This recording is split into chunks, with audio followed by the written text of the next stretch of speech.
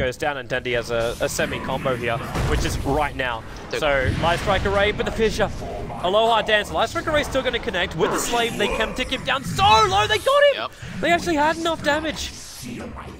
Lina is so strong at mid right now. It's it's super powerful. He's- He doesn't have boots, all he has is a stout shield and a crap, crap ton of consumables, but he does have an ability to potentially deny himself with the rot, but they catch him out in the tree line, they put the catcher onto Yoki as well, he's gonna hook in! Okay, he'll hook VANSKOR in, but the Troll Warlord is still gonna get down. So, yep, there's your fissure into hook and dismember. Ah, Yoki was too far away. And now, Havors turns on the ultimate. He's going to beat him down. So Pudge is going to drop. The SD, he denies himself, but Loa dances SD blocked onto the tri- onto the sideline. Uh, illusions, someone. Empire here. They're looking for a quick middle pickoff on someone who's overcommitting. So Dendi destroys one slave. They drop the sentry ward, and yeah, Radiant Empire's obviously structures got are dodge the back. Wall fortified. VANSKOR too close.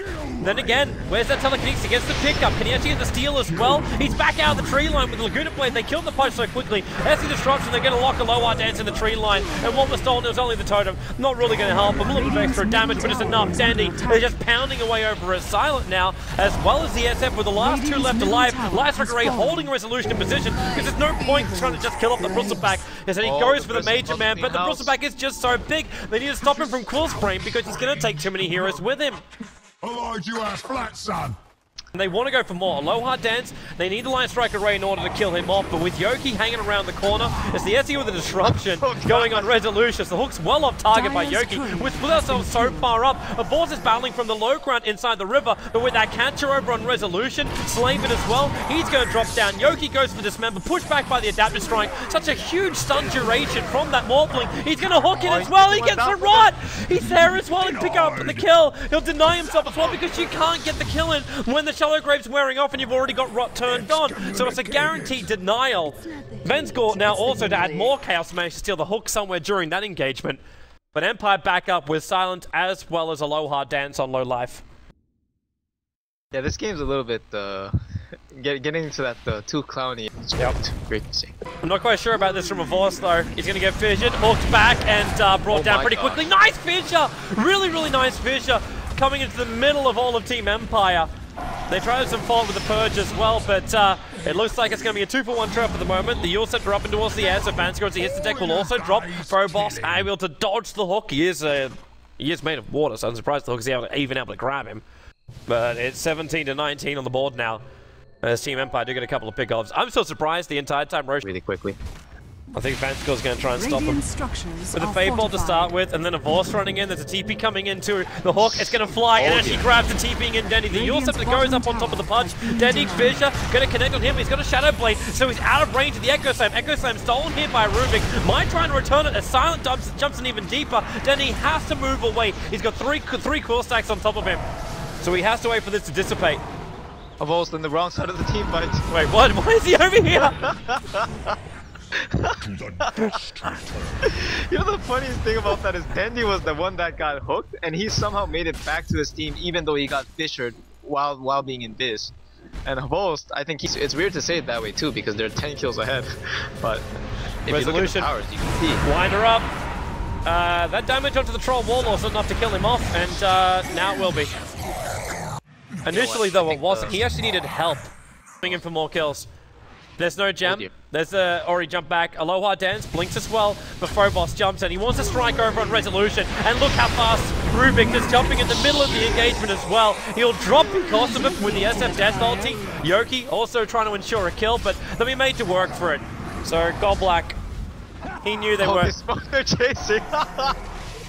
They're not catching him. There's no way they get anything here. Come on. Like, Phobos jumped out to a replicant in the middle lane, he's massively, like, attack. scared. He TP'd out that mid as quick as he possibly could. Much. But uh, Uh, Aloha Dance. Phobos is walking in. Aloha Dance to get the initial stun, follow up Fissure. There is a replicant to jump out to, so they need to get the Dismember as well. But at the Oh my same time, there's 2.4k to get through, but they're going to do so. Dendi, wow, tower they're turning. is under Disruption, Silent just triggers the BKB. The Purge will slow him down a hell of a lot. And I think Goldblack knows he's dead. What's been stolen? We've actually managed to steal what? Requiem of Souls? Wind her up, fan score, and just let it rip. The amount of damage he deals. Silent's still going to take a double kill, however, as uh, Goldblack was in range before. I, I think it's pretty good this game. Earthshaker, Pudge, these heroes will end up just killing themselves. Goldblack, And the hook! nice fissure, but the disruption's still able to go off. So Goldblack comes out, then the hook stolen by VANSKOR, dragging Yoki in range of the tier 4 towers. He is, however, being shallow graved up. The Eul's Scepter as well, sending up towards the air, and he'll hit the ground straight away. So there's no way for him just to rot himself down. I think that was actually a, a defensive Eul's Scepter to make sure he couldn't do exactly that. Resolution winding up the ulti. VANSKOR blown into a million different little pieces. But it's still a two for, well, what trade-off? We had the buyback come out from the Pudge, and he's walking back to the mid right now, but you got a buyback on only Morphling for Na'Vi. As the mid ranks will get beaten down, they can slow it down. Remember, Adaptive Strike and Eul's Scepters. Not the easiest thing to pump in the damage. There goes Silent, just push back. But there's too many heroes here now. He can't stay in close enough to do that again. Has fallen. They have to accept the fact that mid is gone. Radiant's middle Yep, and that has buyback fallen. serving uh, little to no purpose, but it is Yoki, it is Yoku. So this BKB, Havors, what are you doing up here? Why is he still here? Uh, Manasar's gonna pop. VANSKOR with a pickup, throw him back down again. Havors is already dead. No buyback is available. He's short by 150 gold. And they've lost the Shadow Demon as well. Requiem Soul stolen again by VANSKOR. So he has something to play with, but Aloha Dance jumps in on top of Dendi. They need to get this guy out, Oh, but Dendi, him. the Oh, hook was perfect from Yoki. Dendi will buy back into the game. They cannot allow this, this bottom ranks to go down, or else this game is fully over. Radiant's bottom tower has fallen. I don't know how they're meant to try and hold this. Like, even with Rubik, he's got a level 3 Requiem of Souls, which is fantastic damage. Also back. So they've got a way to fight him. The hook shot though, in with the Eul's Scepter Phobos. Now defensive Eul's Scepter. Waveform tries to, but Aloha Dance controls it beautifully. You do have Dendi throwing out that ultimate of his, but Resolution had the cheese. VANSKOR, Requiem.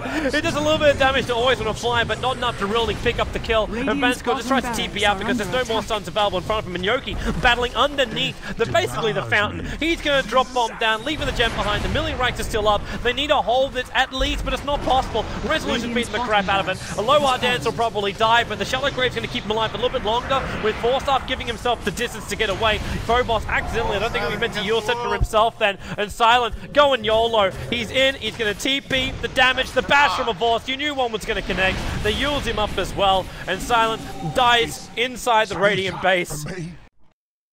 But Empire do take bottom rack, so they're fine.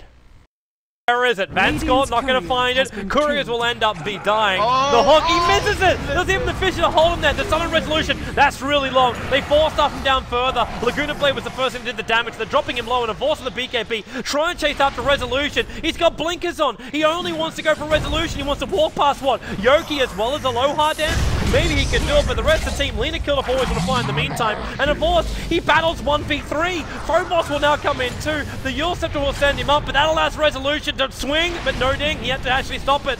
At the very last moment, Havors back into the fight, bashing over on Resolution. The the bat, the bat, the stump of the Fissure, slowing him down, so he does die. That's a die back from Havors. A double kill for Resolution. Yoki going deep right now into Na'Vi. But he just blinks himself away from the Light Strike Array, which was way too late from Dendi. And without a force there, and Empire with the with the momentum they've got, like Resolution can walk to the Radiant base right now and pick up his butterfly. And there's nothing that can really be done about it.